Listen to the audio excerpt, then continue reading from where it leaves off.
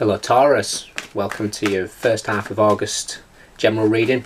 So it's going to be generals, um, so not going to resonate for everybody, so check out your replacements, your Moon, Rising and Venus. Um, we'll take an issue, can be anything, career, love, finances, you name it. Um, we'll take something you're aware of, something you're not aware of, recent, past, immediate future and outcome. We'll clarify those and hopefully get a message out for plenty of you. Okay.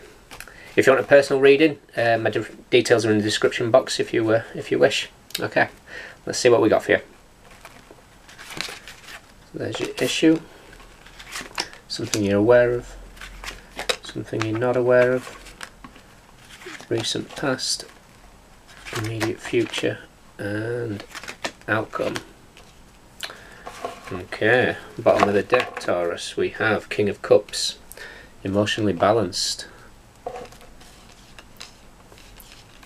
Okay.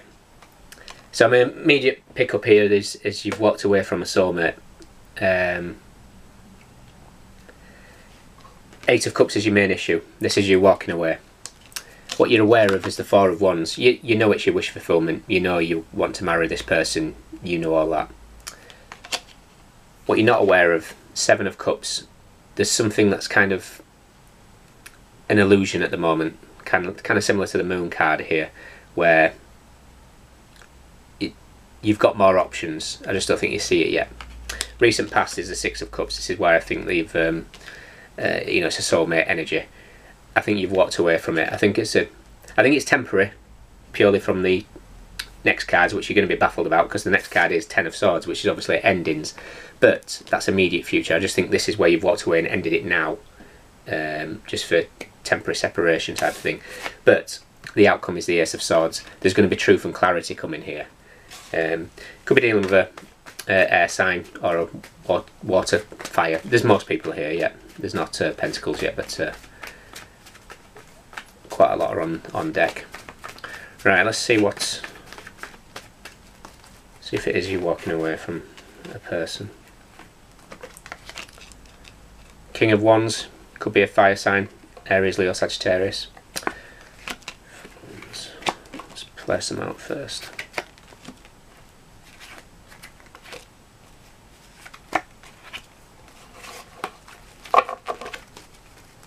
Nine of Pentacles at the bottom of there.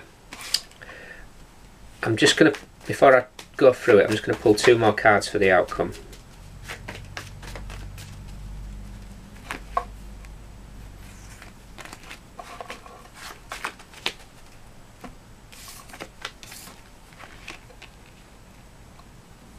Okay. Right, so the Eight of Cups with the King of Wands. You've, you've walked away from uh, a very confident sort of person here um, a very passionate person, but uh, it's obviously something wasn't working. What you're aware of, four of wands with the three of wands, you you know this is your one, and you know these ships are coming in. Um, I think you've just got to temporarily walk away from this situation. What you're not aware of, seven of cups with the seven of wands, you've got you've got decisions to make. It's going to put you on higher ground, and it's also seventy-seven. Uh, this I, I think this connection is divinely guided but I just feel you need to be separate for the time being. Just let let the divine do their bit. Um, Six of Cups with the High Priestess. You, you, know you intuitively know that this is your one. Uh, this is your soulmate, um, and you know that you kind of need this separation for the time being. Ten of Swords with the Seven of Swords. There could be a bit of deception here. Maybe um, maybe your person cheated on you, or is holding back some truths. Swords came with a page of wands, so I took, because obviously that's news coming in, that's going to bring this clarity and truth. Um, and I think the story is is conflict with the person's mother. And I think that's what the boundary is at the moment.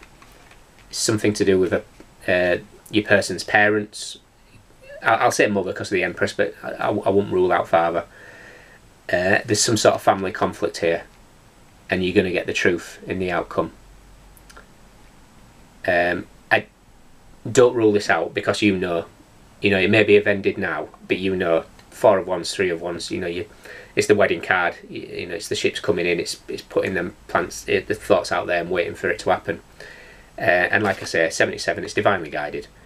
So I wouldn't worry too much about this ending because it's temporary.